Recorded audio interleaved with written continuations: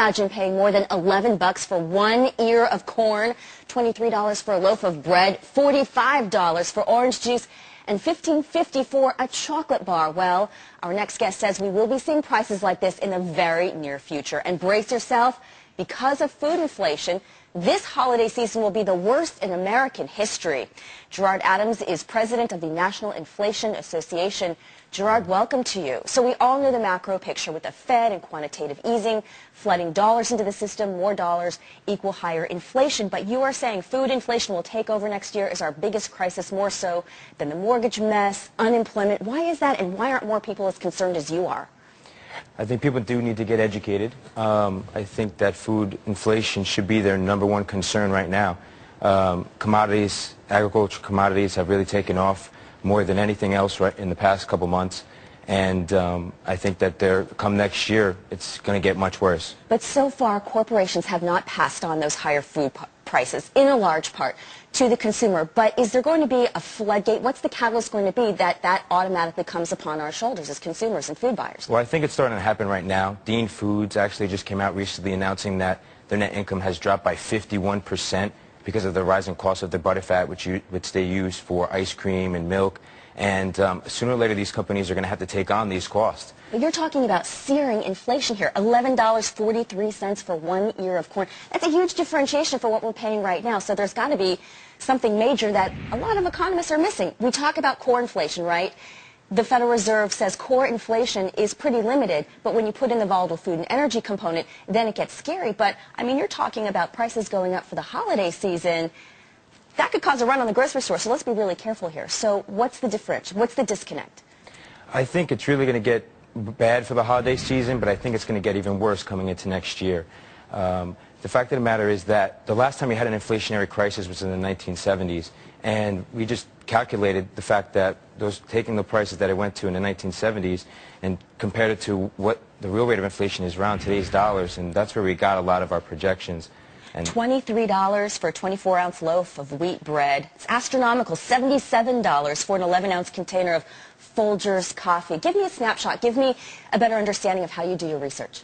Well, basically, I think actually those prices can happen within the next decade, but they can even happen even sooner, in my opinion. Uh, if, you, if what we did was, like I told you, uh, we just took the prices the last time we had an inflationary crisis, which, is, which was in the 1970s. Um, I feel that the economic status right now is much worse than it was in the 70s. So I took the prices of those commodities when they hit their highs in the 70s, and I just uh, calculated what those prices would be in today's dollars based on the real rate of inflation. And then how does that compare to, because wage growth is certainly not going to keep up with this rate of food inflation you're talking about. What's the uh, ratio there? What's the difference there? I think that uh, for every 1% in wage growth, there'll be 4% food inflation. So I think it, it, people really need to start waking up. I'm Steve Shenk. You're looking at this because you're concerned or interested in food. Let me tell you where this all came from. We've been involved with shipping food all over the country for about 27 years, and it came from the old pioneers. My daddy was 62 when I was born. That means he was born in 1887. And the old timers always had food. Reason? Americans are rugged individualists. They're independent. They don't need nothing from nobody. And the reason the old pioneers and the old timers always had food around is because it's our greatest dependency. And they never knew when they were going to have a crop or when they weren't. And they were ready. Hey, I'm a farm boy from Minnesota, and it's just about impossible for me, along with the rest of you, I'm sure, to believe that in America, the breadbasket of the world, it's possible to have food problems. But we do. You realize in 1959, this country could have fed the entire world five times over? Now, we're importing 30% of our food? This is scary. And right now, with the economy the way it is, over 30% of our families, when they go down to the grocery store every week, have to make a decision as to whether they're going to buy food or pay some other bills that they've got sitting on their doorstep. The stock market is up and down like a yo-yo. Nations are falling over one thing, food. Isn't that interesting? Food has always been the issue of wars and rumors of wars. Nations have fallen because food was not there. And it's happening right now on this planet. we're living in fearful times. And here's a thought for you. Every single fear that we have is based on some dependency being threatened. If we didn't need our jobs, we wouldn't fear losing them. If we didn't need the credit from the bank, we wouldn't worry about whether we had it or not. If we didn't need food, we wouldn't worry about whether the farmers can afford to stay in business. Very simply, eliminate fear by being independent. The problem that we have with all of this stuff hitting us, whether it's the banks or the stock market or job loss or food prices and gas prices, is that we have been hit with so much stuff that we've become desensitized.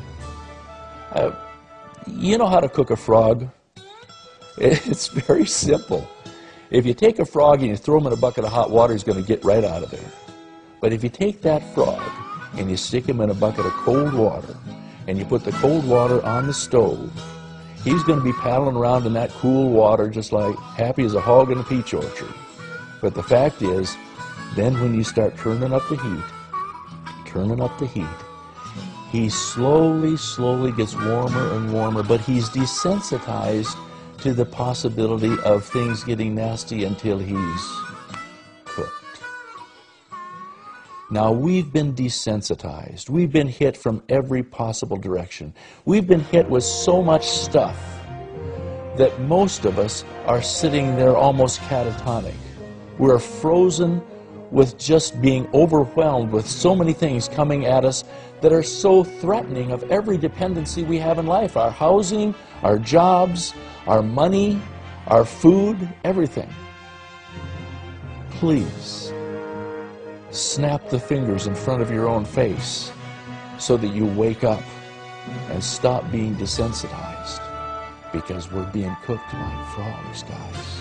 The important thing that needs to happen is that people need to take that dependency on food and realize that they have control. We are not victims. We are not victims of an economy, of bad government decisions. We're not victims of anything but being just good, solid Americans. What we can do is we can prepare just like the pioneers did. My friends, with our great American heritage, we have the power through choosing independence to become totally fearless.